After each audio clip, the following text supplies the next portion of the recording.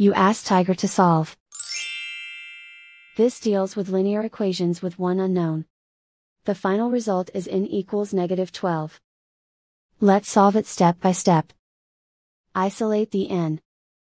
Multiply both sides by 6.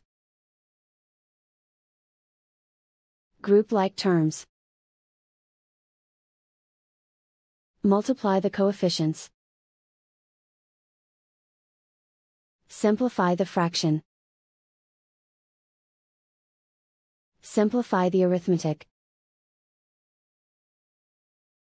And so the final result is n equals negative 12.